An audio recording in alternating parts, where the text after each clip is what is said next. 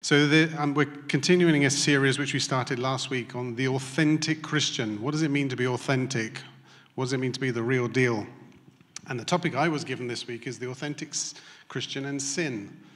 So we're going to be thinking about sin this morning.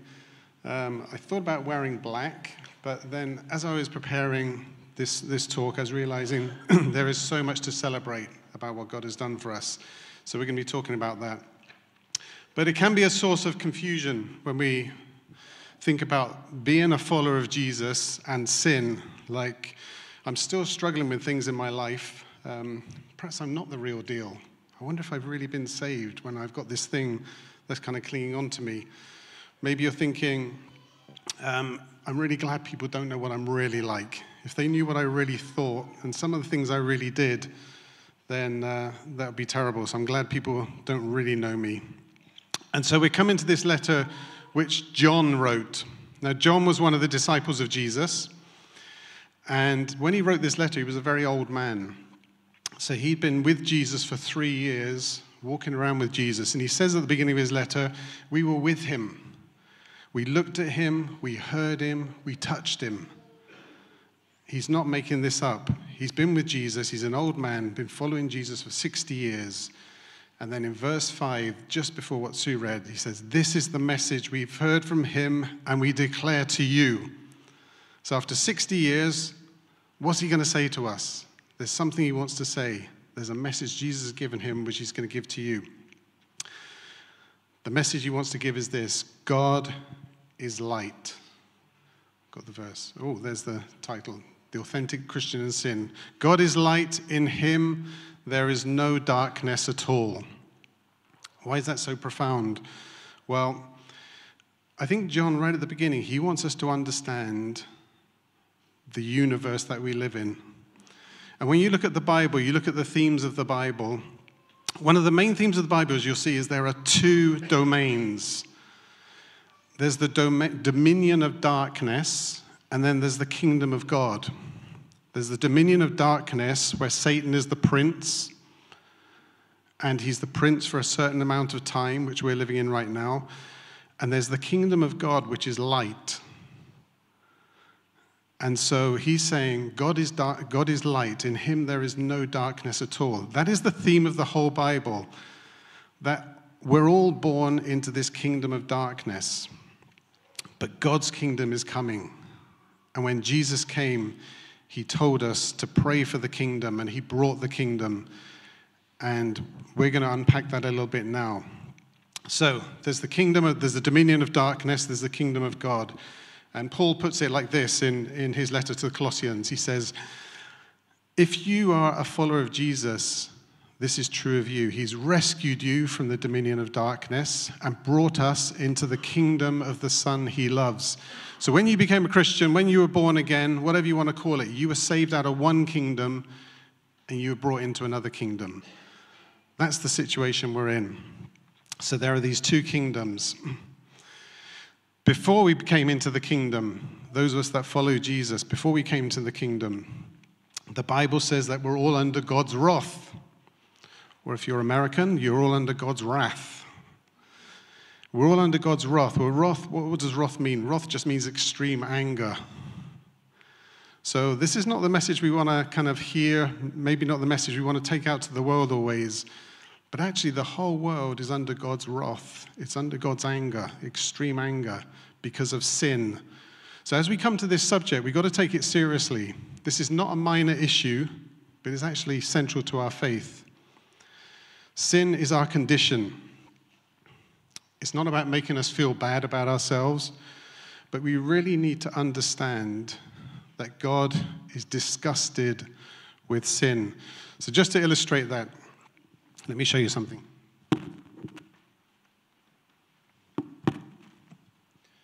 Now, if I was to invite you to my house on a hot day and you, desperately want to drink a cold water, and I pull out a bottle of water and I say, It's a bit dirty, it's actually from the toilet. Okay? But it's water, you know, it'll uh, quench your thirst. Have it, drink it. I don't think you would, would you? And sin is like that to God. Sin is saying, if I want to live in sin and offer myself to God, then I'm offering something that's polluted. It's disgusting to Him. We cannot approach God with the sin that we have in us. Or maybe you think, well, actually, I'm a pretty good person. I haven't really done much wrong.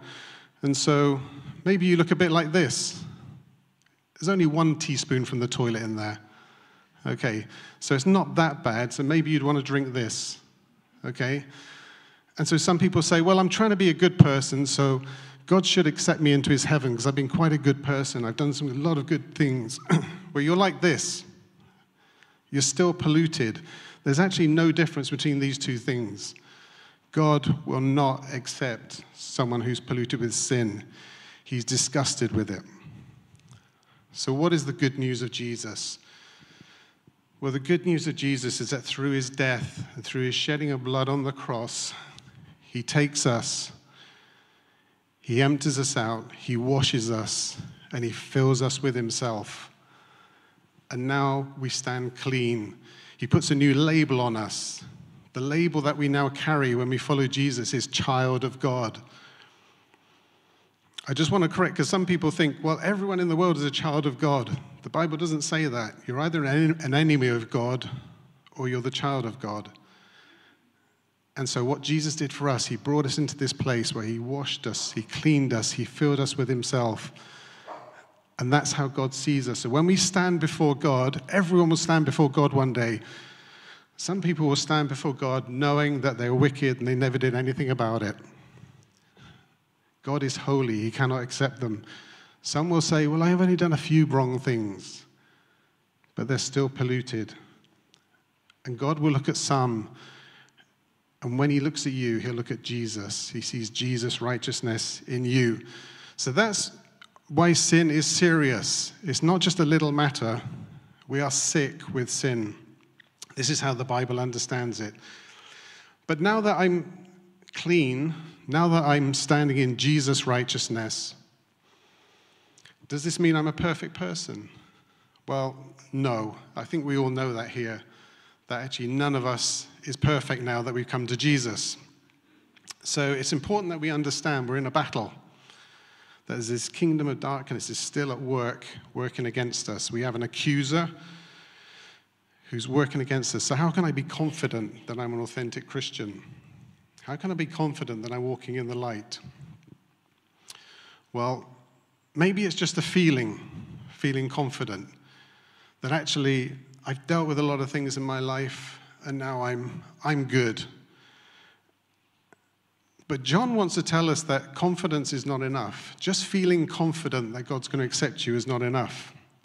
See, John knew this when John, who wrote this, this passage that we read, when he was a young man, you remember he was a disciple of Jesus, and he was so confident in himself, he came to Jesus one day and he said, Jesus, can, uh, when you come into heaven, can me and my brother sit on your right and on your left? Because we're actually, you know, they, they kind of, we're, we're kind of important. So we want to sit in those places. And Jesus said, Those are not my decisions, they're not your decisions. Three years of walking with Jesus had demolished John's confidence and his arrogance, his confidence in himself. the religious leaders in Jesus' time, they felt confident. They were probably a bit like this. They were confident, yeah, I'm a good person. One day, Nicodemus, a very religious man, a very upright religious man, came to Jesus and said, We know you're a good teacher and Jesus said something to him which absolutely shocked him. Jesus said, Unless someone is born again, they cannot see the kingdom of God. Unless you're born again, your state, you're in a terrible state. You need to be born again of the Spirit. So he said that to Nicodemus. So devotion to God and doing the, the religious stuff is not good enough. And there were others, other religious people that came to Jesus. And maybe even today, some of us have done great ministry for God. We've served God in this way and that way. We've even done miracles, maybe even cast out demons. What does Jesus say to them? Some of the most chilling words of Jesus. Many will say to me on that day, the day of judgment, Lord, Lord, did we not prophesy in your name? And in your name drive out demons and perform miracles? In other words, we're sorted. I will tell them plainly, I never knew you. Away from me, you evildoers. So, this is our condition. It's serious.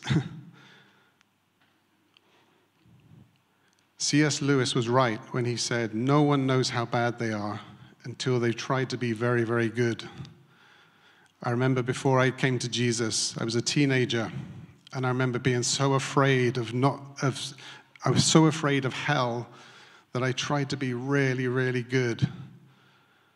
But my problem was I kept forgetting to be good. I went to school and I would cheat, I would lie. I was extremely rude to my older sister who was bossy. So we can't always be confident that we can feel good about ourselves. You know, I want to be confident. How can we be confident when there's an enemy working against us? You see, Satan is very good at chucking things at us. He's chucking excuses and arguments about how, and enticing us to sin. I wrote down this week some of the things, the thoughts I've had in my mind over the years when I've been tempted some of these words. It's no big deal. It's only a little bit of pride. It's only a little lie. Or I can just have a little look and then I'll turn away. Or it's not really gossip when I'm saying something bad about something when they're not there. Or maybe Satan said to you as well, just this once, just do it this once, and after that I'll stop. This is the last time I do it before we enter into some sin, or no harm will come of it. Come of it. Or you can always repent afterwards. Or even some that, are, that we probably hear more today than we've heard before. I'm different. I, I have an addictive personality. And so there's all these little whispers that God puts into people's minds and into their hearts to lead them into sin. And then, as we know, anyone that's experienced this, as soon as you've fallen into sin, then Satan comes back again with some more words. Oh, now you've gone too far. There's no way back. There's no point in, there's no point in repenting. You know you're going to do it again. So I'm sure many of you experienced this. But John seems to be telling us that we can only know we're walking in the light when we humble ourselves, admitting we have a problem, when we have an honest confession of our sin, and trust in the blood of Jesus to wash us clean. This is the key verse I think he puts in the, in the passage that we read earlier. He says this that if we confess our sins, he is faithful and just and will forgive us our sins and purify us from all unrighteousness. I'm going to read that again. It's such a key verse for us to get into our hearts. This is a truth for all of us here. If we confess our sins, he is faithful and just and will forgive us our sins and purify us from all unrighteousness. So, how do we confess well? Well, I think there are lots of ways you can confess well, but I've, I've narrowed it down to three things about how to give a confession to God, because we can come to God and we can apologize in bad ways. But the first thing is to take time to examine yourself. Take time with God to examine yourself. You see, sometimes there are things in my life I know that are invisible to me. Others see them, but they're invisible to me. Um, even some uh, earlier this week, someone was pointing out something in me that they'd seen, which I don't think they liked, and I was completely unaware of it. I won't say what it was, um, but there are things that will be in our lives that we don't necessarily see. And uh, things, these are the things that are sabotaging our walk with Jesus. So asking the Lord, is there anything in me that is not pleasing to you? See if there's any wicked way in me. Please reveal it. So what are the what are the things in you? What are the things in you, the evil desires that you're enticed to and tempted to? Maybe we just take a few moments to think about that. What are some of the things in you? And I don't want you just to think about things in the sexual, spe- sexual sphere. They're often the, th- the first things that come to mind. But what about the respectable sins? Pride, putting yourselves before other people, gluttony, the odd lie or exaggeration to make you to get you out of trouble or to make you look good. Maybe laziness, bitterness, envying what other people have got, judging others. I spent some time doing this this week. And I realized that one of the things I, I, that is there in my life sometimes is self pity. That I like to get people to feel sorry for me about some little thing here and there, rather than being thankful for what God has done for me. What are some of the things in you? So I'd encourage you to take time just to examine yourself, ask the Lord to shine His light on those areas of life that He wants to work on. You see, it's so important we see where sin is active. Where is the battle going on? It'll be different for each of us, but it's real for all of us. So don't think you're the only one. So, confession well. Take time to examine, ask the Lord to shine his light.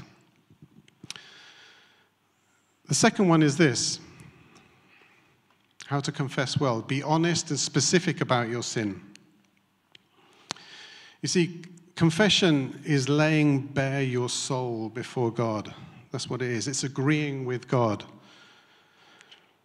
So it's not saying, I'm sorry, or sorry, God, I messed up. It actually begins, confession, true confession begins by stating what I actually did. It's calling a spade a spade, as, as uh, we might put it. calling things out for what they actually are. You know, if you went to a doctor and you, you were feeling ill, and the doctor looked to you and said, Yes, I can confirm you're ill, it wouldn't be much use, would it? When you go to the doctor, you want the doctor to actually tell you what the illness is, what the problem is, what the root cause of it is, and then prescribe something to bring healing. So when we come to God, we're actually examining ourselves and saying, God, I've got this problem, and it's this specific problem. God, I lied to make myself look good, or I exaggerated. Father, I gossiped about Sam yesterday to make him look bad. Jesus, I find that I'm always complaining about things. Please help me have a thankful heart. Actually, naming the things before God. It's so important in confession, in a true confession. Like I say, we've all seen apologies done wrong, and sometimes we get our kids to do it, don't we? Like one kid is snatches something off another kid, and we say, "Say sorry," and so the kids say, "Sorry," and say, "No, say it properly, sorry." Okay, that kid is not sorry. The other kid's more sorry, actually. They're sorry that they got hit or that they got their toy snatched from them. So, a true confession is actually a heartfelt confession before God, coming to Him in repentance. I did this.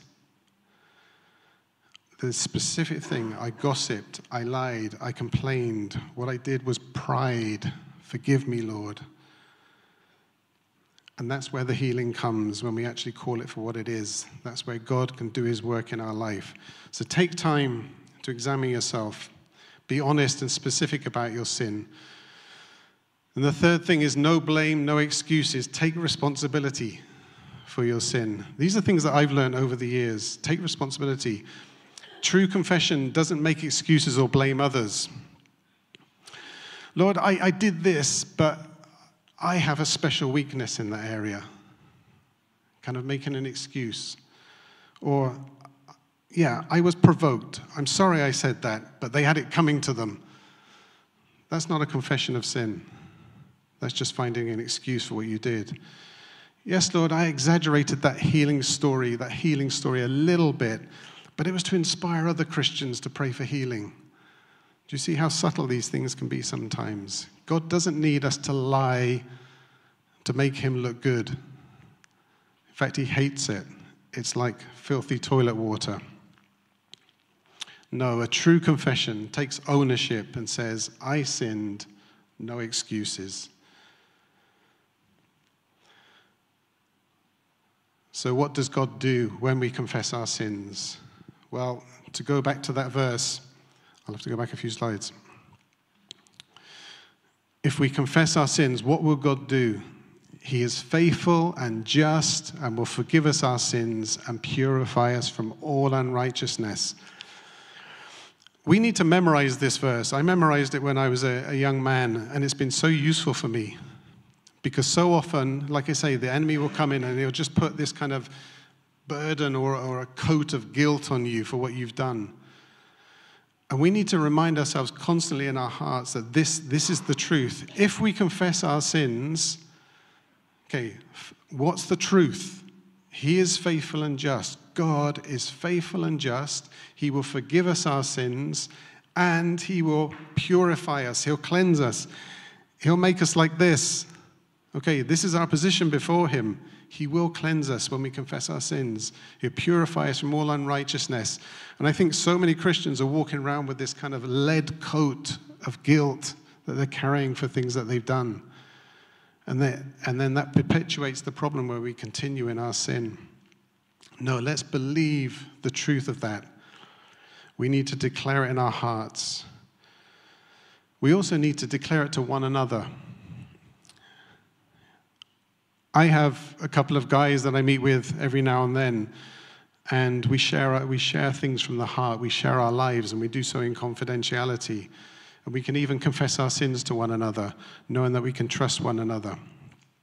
And it's good that you would have one or two other people, one or two other Christians in your life that you can go that deep with, that you can trust that much. So I wonder do you have anyone?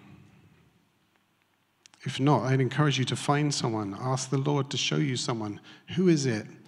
Who is a friend that I can trust, that I can tell, confess my sins to? And they, when I'm carrying this guilt, this lead coat of guilt, when I'm carrying it, they can say, No, you've confessed your sin. You are forgiven.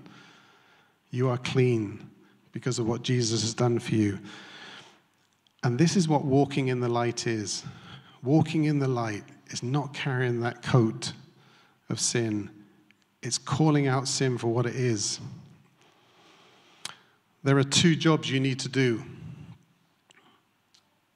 when you recognize sin in your life after confession.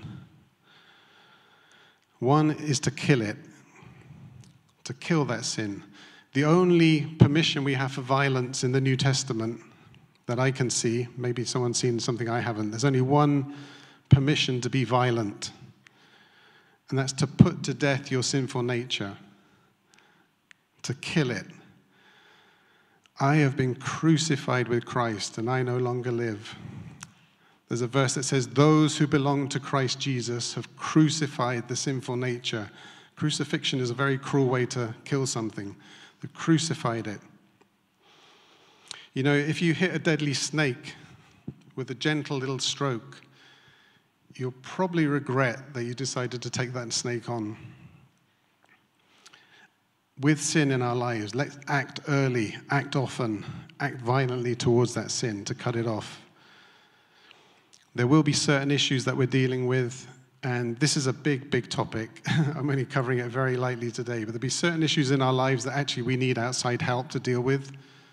It'll take more than just confession, more than just asking forgiveness. There's things that have got a hold on us where we can get some outside help. And that's one of the beautiful things of the church is you're in here with people that are for you, people that understand you, because we're all in the same boat, and we can get help in that way.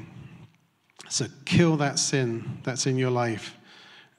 But the second thing is this, and this is what makes us different to the rest to, to those that are outside the kingdom. See, outside of the kingdom, you have to go to self-help books.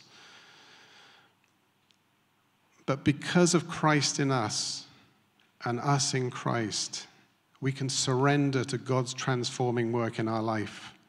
You cannot do this alone. you cannot beat sin in your life alone. We surrender to God's transforming work in our life. God has begun a good work in you. I think that's why you're here this morning. God's begun a good work in you and He will complete it. He will carry it on. If you surrender to Him, the power of the Spirit is available to us today to defeat sin in our lives. So I'm going to invite the band back up. We're going to close with a song talking about the marvelous, wonderful love of Jesus, that He hasn't left us in our filth, but He's taken us and He's cleaned us. Let's pray. Yeah. Let's stand. Sorry, let's stand. Maybe close your eyes. If you want to, just lift your hands before God in response to Him. Holy Spirit, you're here, and we want to say thank you that you reveal sin in our lives.